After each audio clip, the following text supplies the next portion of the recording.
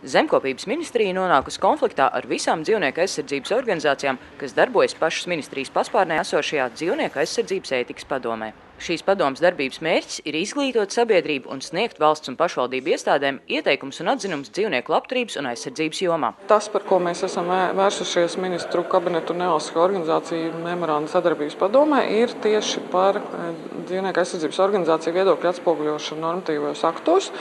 Proti, Zemkopības ministrija sistemātiski un regulāri neatspoguļo dzīvnieku aizsardzības organizāciju iebildumus noteikumu projekta anotācijās. Mēs esam minējuši vairākus piemērus, tie skaļākie ir saistībā ar aitu labturības noteikumiem un noteikumu par dzīvniekiem, ko izmanto eksperimentos, kur bija liels strīds par to, vai dzīvnieku aizsardzības ētikas padomē saglabāsies vai nesaglabāsies tiesības vērtēt šos eksperimentus no ētiskā aspekta. Mēs uzskatām, ka tas nav pieļaujami un ka tā ir ministrijas nevis kāda nejauša vienkārši kļūda vai kas tamlīdzīgs, bet tā ir ministrijas apzināta rīcība, lai lēmumu pieņēmēji, ministru kabinetā, ministri, saimnes deputāti nebū, nevarētu iepazīties ar šo viedokli.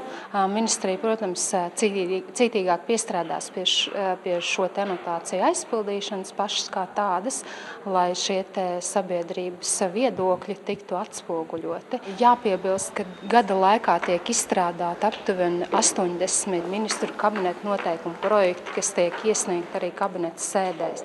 Šobrīd mēs runājam par trīs no tiem, par kuriem mēs esam saņēmuši pretenzijas, ka nav šis viedoklis pietiekami labi atspoguļots. Jāteic, ka nesaskaņas tomēr jau ir ilgstošas, un dzīvnieku aizstāvi pārmet ministrijai arī daudzus citus pārkāpumus. Piemēram, tāds svarīgs jautājums kā eh, ētikas padomus dalība vai nedalība eksperimentu izvērtēšanā. Jaunajā ētikas padomus sastāvā tika skatīts četru cilvēku sastāvā. Tātad četri cilvēki no 16 nolēma, ka ētikas padome turpmāk vairs eksperimentu vērtēšanā piedalīties nevar. Tad, tad nu, mēs atkal redzam kārtējo pretiesisko rīcību, jo šajā padomu sēdē bija klāta arī zemkopības ministrija, kas ļoti labi redzēja un zināja, kā šis lēmums tika pieņemts un ka nu, četrus cilvēkus no 16 nekādīgi nevar uzskatīt par kvorumu, kas varētu pieņemt lēmumu ētikas padomas vārdā. Gadiem ilgi mums tiešām ir radusies neusticība šai iestādēji, kā šī normatīvo aktu izstrāde un saskaņošana ir diezgan neapmierinoša. Mums katru atsūtīto jauno projektu, diemžēl, ir jāpārbauda pa burtiem, jo nav uzticība, kā paralēli nav izdarīti vēl kādi citi grozījumi, ka anotācijā atspoguļotais viedoklis ir jāpārbauda, vai tiešām viņš sakrīt ar to, ko mēs esam atzinumā snieguši. Viens no asākajiem konflikta pavērsieniem notika, kad pirms kādu laiku savu darbību ētikas padomē apturēja visas iesaistītās dzīvnieku aizsardzības organizācijas, protestējot pret ministrijas lēmumu iecelt padomē mednieku asociācijas pārstāvi. Pagājušajā gadā mednieku organizācija lūdza akceptēt savu dalību ētikas padomē. Un zemkopības ministrijai ir jāņem vērā visas interešu grupas, arī mednieki, arī lauksaimnieki, arī dzīvnieku aizsargu organizācijas. Bet, ja dzīvnieku aizsardzības ētikas padomē tiek iesaistīti mednieki, būtu loģiski tās sastāvā iekļaut arī visdažādākos lopkopus un pat cirku, kas arī izmanto dzīvnieku peļņas gūšanai. Bet vai šeit neveidojas interešu konflikts?